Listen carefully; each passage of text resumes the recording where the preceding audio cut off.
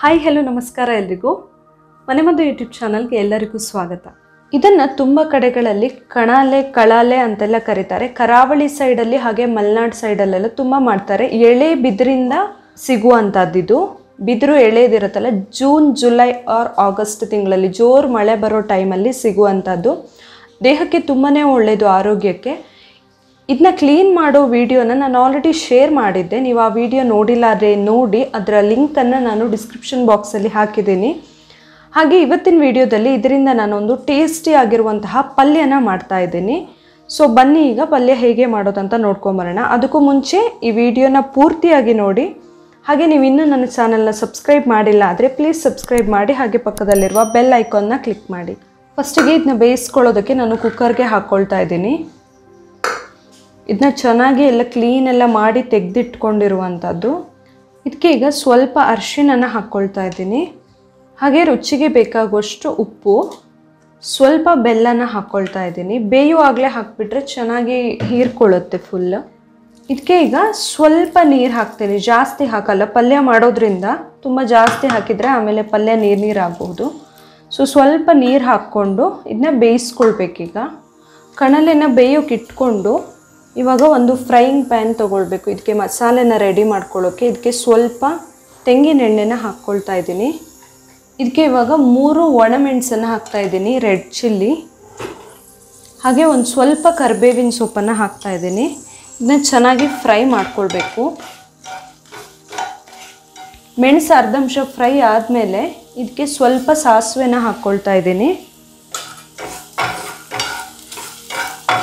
ಸಣ್ಣ ಉರಿಯಲ್ಲಿ ಇದಿಷ್ಟನ್ನು ಫ್ರೈ ಮಾಡಿಕೊಳ್ಬೇಕು. ಸಾಸಿವೆ ಹಸಿ ಹಾಕಿದರೆ ಸ್ವಲ್ಪ ಸ್ಮೆಲ್ ಬರಬಹುದು. ಕೆಲವರು ಹಸಿ ಕೂಡ ಹಾಕ್ತಾರೆ ಬಟ್ ಸ್ಮೆಲ್ ಬರಬಹುದು. ಸೊ ಸ್ವಲ್ಪ ಫ್ರೈ ಮಾಡ್ಕೊಳ್ತಾ ಇದ್ದೀನಿ. ಸಾಸಿವೆ ಸಿಡಿತಾ ಇದೆಯಲ್ಲ, ಇವಾಗ ಆಫ್ ಮಾಡ್ಕೊಂಡು ಬಿಡ್ಬೋದು. ಇಷ್ಟು ಫ್ರೈ ಆದರೆ ಸಾಕು. ಇದನ್ನ ಹೀಗೆ ತಣ್ಣಗಾಗೋಕ್ಕೆ ಬಿಡಬೇಕು. ಇವಾಗ ಇದು ತಣ್ಣಗಾಗಿದೆ. ಮಿಕ್ಸಿ ಜಾರ್ಗೆ ಹಾಕ್ಕೊಳ್ತಾ ಇದ್ದೀನಿ. ಇದನ್ನ ಸ್ವಲ್ಪ ಪೌಡರ್ ಮಾಡ್ಕೊಂಡ್ಬಿಡ್ತೀನಿ ಈಗ. ಇದೀಗ ಚೆನ್ನಾಗಿ ಪೌಡರ್ ಆದಮೇಲೆ ಇದಕ್ಕೆ ಸ್ವಲ್ಪ ತೆಂಗಿನಕಾಯಿ ತುರಿನ ಹಾಕ್ಕೊಳ್ಬೇಕು. ಒಂದು ಅರ್ಧ ಬೌಲ್ ಆಗುವಷ್ಟು ಹಾಕ್ಕೊಂಡಿದ್ದೀನಿ ನಾನು. ನೀವು ಕೊಬ್ಬರಿ ಬೇಕಂದರೆ ಹಾಕ್ಕೊಳ್ಬಹುದು, ಇಲ್ಲ ಹಸಿ ತೆಂಗಿನಕಾಯಿ ತುರಿನಾದರೂ ಹಾಕ್ಕೊಳ್ಬಹುದು.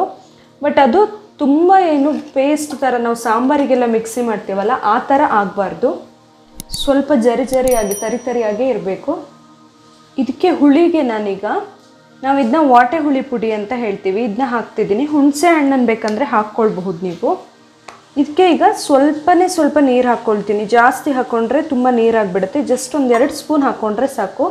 ಇದನ್ನ ಇವಾಗ ತರಿ ತರಿಯಾಗಿ ರುಬ್ಕೊಳ್ಬೇಕು.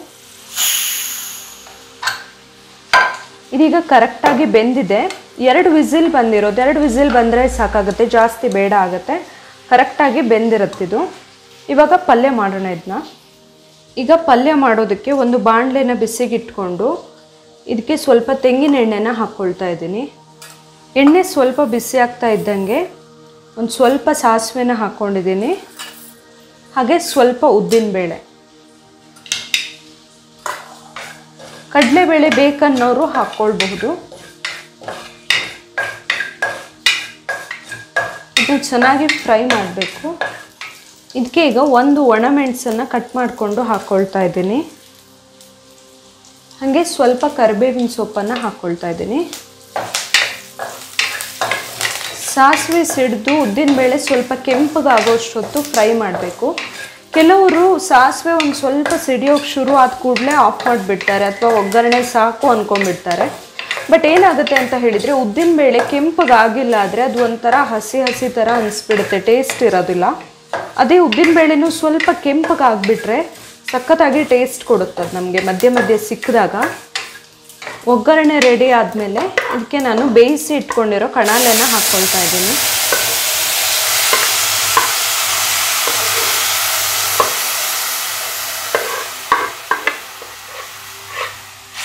ಇದನ್ನ ಚೆನ್ನಾಗಿ ಮಿಕ್ಸ್ ಮಾಡ್ಕೊಳ್ಬೇಕು. ಇದಿವಾಗ ನಾನು ತರಿತರಿಯಾಗಿ ಮಿಕ್ಸಿ ಮಾಡಿ ಇಟ್ಕೊಂಡಿರೋದು. ಇದನ್ನು ಹಾಕ್ಬಿಡ್ಬೇಕೀಗ. ಸ್ವಲ್ಪ ನೀರು ಇರುವಾಗಲೇ ಇದನ್ನು ಹಾಕಿಬಿಟ್ರೆ ಚೆನ್ನಾಗಿ ಮಿಕ್ಸ್ ಆಗುತ್ತೆ. ಅಷ್ಟೊಂದು ಹಸಿ ವಾಸನೆ ಎಲ್ಲ ಬರಲ್ಲ, ಕಾಯಿ ಎಲ್ಲ ಹಸಿ ವಾಸನೆ ಬರುತ್ತೆ ಅಲ್ವಾ ಕೆಲವು ಸರಿ. ಸೊ ಅದೆಲ್ಲ ಬರೋದಿಲ್ಲ. ಫಸ್ಟಿಗೆ ಹಾಕಿ ಚೆನ್ನಾಗಿ ಕುದಿಸ್ಬೇಕು. ಚೆನ್ನಾಗಿ ಮಿಕ್ಸ್ ಮಾಡಿಕೊಂಡು ಹೀಗೆ ಒಂದು ಐದು ನಿಮಿಷ ಬಿಟ್ಬಿಡ್ಬೇಕು ಇದನ್ನ ಇದು ಫುಲ್ ಎಲ್ಲ ನೀರೆಲ್ಲ ಆರಿಬಿಟ್ರೆ ಪಲ್ಯ ರೆಡಿ ಆಗುತ್ತೆ ಇಷ್ಟಾದರೆ. Stove off ಮಾಡ್ಕೊಂಡ್ಬಿಡ್ಬೋದು. ಬಿಸಿ ಬಿಸಿ ಅನ್ನದ ಜೊತೆ, ಚಪಾತಿ, ದೋಸೆ ಎಲ್ಲದರ ಜೊತೆ ಕೂಡ ತುಂಬ ಚೆನ್ನಾಗಿರುತ್ತೆ. ತುಂಬಾ ಒಳ್ಳೆಯದಿದು ಆರೋಗ್ಯಕ್ಕಂತೂ. ಸೊ ವರ್ಷದಲ್ಲಿ ಒಂದು ಸಾರಿ ಏನಾದರೂ ಈ ಕಳಲೆನ ತಿನ್ನಬೇಕು ಅಂತ ಹೇಳ್ತಾರೆ ನಮ್ಮ ಕಡೆಯಲ್ಲೆಲ್ಲ. ಎಸ್ಪೆಷಲಿ ಮಳೆಗಾಲದಲ್ಲಿ. ಆಮೇಲೆ ಅಂದರೆ ತುಂಬ ಬೆಳೆದು ಹೋಗಿಬಿಡುತ್ತೆ ಅದು. ಸೊ ಆವಾಗ ತಿನ್ನಬೇಕು ಸಿಗೋ ಟೈಮಲ್ಲಿ ಇದನ್ನು. ತುಂಬ ಟೇಸ್ಟಿಯಾಗಿರುವಂತಹ ಕಣಾಲೆ ಪಲ್ಯ ಹೇಗೆ ಮಾಡೋದು ಅಂತ ತಿಳ್ಕೊಂಡ್ರಿ ಅಲ್ವಾ?